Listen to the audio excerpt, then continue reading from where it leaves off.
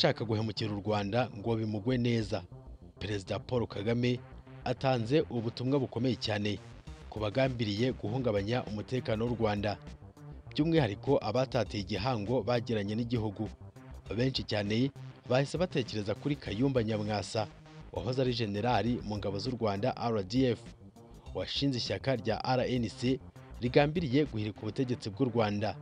Uyu kayumba nyamwasa n'abambari be bari kwinginga perezida wa congo felix antoine tshisekedi ngo abafashe guhirika ubutegetsi bw'u rwanda.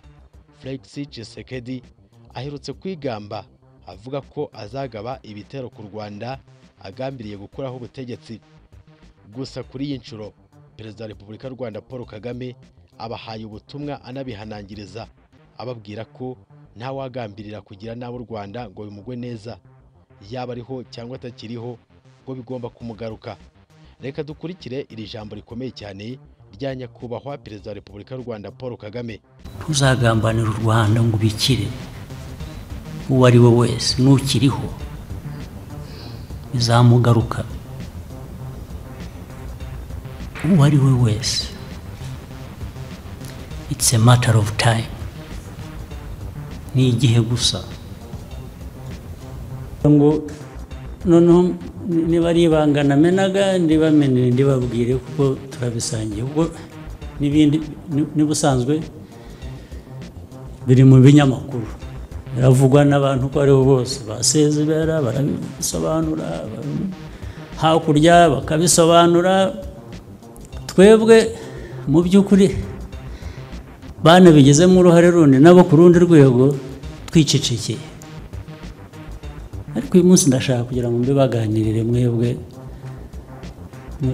bayobozi bacu mwese muri hano nabo ku nzego izo arizo zose. Mbibabwire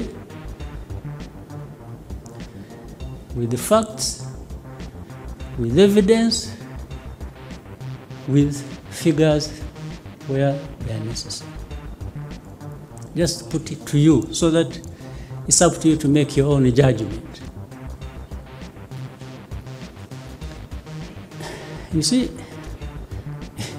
iyo mbona abantu bavuga ngo ndabibona mu binyamakuru biranditse bakubwira ngo there is no problem? It's no problem.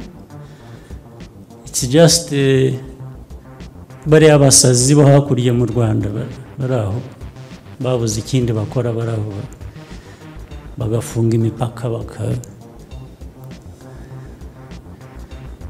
baturega ibintu byinshi. Ko twica abanyarwanda bacu ko twica abantu ubu turabicanyi ubu turi aho. We are nothing but just murderers of our own people. This is what we're being branded every day.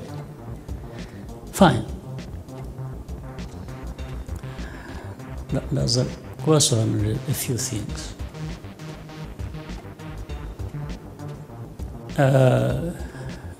Ibi kandi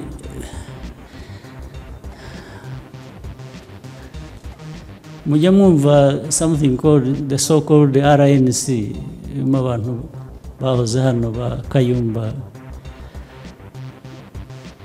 nyamwasa n'abandi who some of them in, south africa abandi bari muri uganda abandi bari i burundi and so on. Nko kuvuga ngo bo bafite authority on the other side. They work with authorities bakabwira ngo no. Uyu munyarwanda. Agomba kuba ari umuntu uri mu sisitemu y'u rwanda. Ni umuntu utumva rnc utumva ko dukwiye kurwanya u rwanda dukwiye gukuraho kagame dukwiye gukuraho rpf so uwo nguwo in fact hari izindi kesi hari abantu bafunze. Hari nka kesi y'umuhungu umuntu kera yahoze mu gisirikare man umuntu witwa rene rutagungira. Ariko si wenyine ndamukoresha as an example hari n'abandi bari muri iyo kategori uwo rene rutagungira bajya kumufata and this is something I took up myself with even the president of Uganda. So aba, abantu ba RNC who have been given free hand for recruitment muri Uganda abitwa ngo bari bararwanya government y'u Rwanda.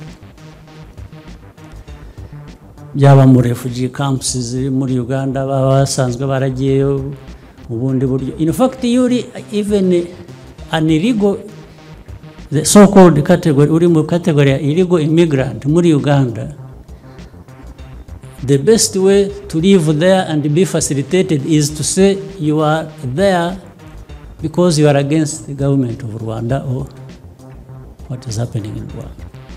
Then you are safe.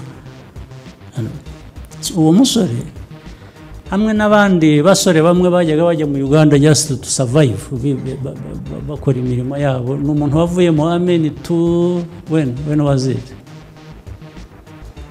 It's around 2000, uh, 2001 to aho ngaho. If I, if I remember, I can see you don't seem to know about it. Uh, oh, early 2000. Huh? It is the 90s. Oh, I thought it was around 2000. Now, but what, what, how they came to arrest them, and he's been in, in prison with others. Abantu ba rnc barabaapproachinze not so long ago about two, two and a half years. Banza amaze nawe igihe kinini mu prison. So they wanted to recruit them. So abasore baranga kuko why did they want to recruit them? It's because they knew them they knew they were in the army. So they've been looking for people like that to recruit for RNC with the support of Uganda. So abahungu baranga baravuga ati "Ah, twebwe we are- ubuzima bwacu we are surviving. We are just uh, doing our own things ibyo ntabwo tubizi. Ah. baravuga ngo okay niba mwanzi you are actually not going to operate safely in Uganda. We are going to cause you problems bashaka kuba blackmailing the others actually refused and said no please whatever you, problems you have with the government of Rwanda and so on so that's your business. Go ahead with it we are not part of it and we are not part of government anymore or the system. We are not going to join you. We want to do things for our own survival